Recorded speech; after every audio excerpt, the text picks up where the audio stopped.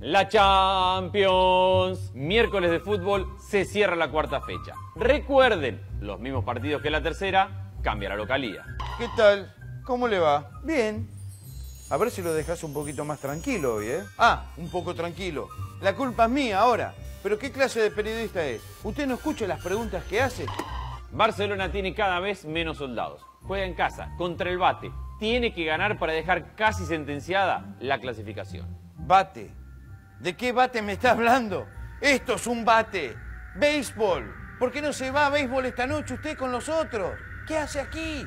El bate contra el Barcelona. Pero me está bromeando. Pero si van al Camp a pasear a sacarse fotos estos tipos.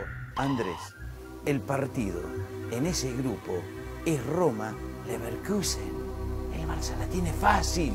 Del 2 a 0 al 4 a 2. Del 4 a 2 al 4 a 4. Leverkusen Roma fue un partidazo en Alemania. La revancha será tremenda. ¿Y quién dijo que Chicharito no hacía un gol y en un arco de 50 metros?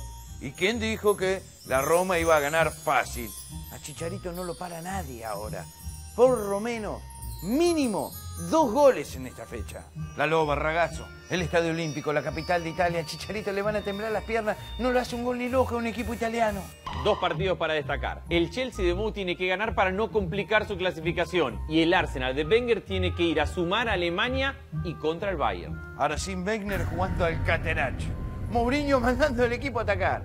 Se dieron cuenta, ragazzo, que cuando el diablo mete la cola, todo se pone mejor. La Champions. Nada como la Champions.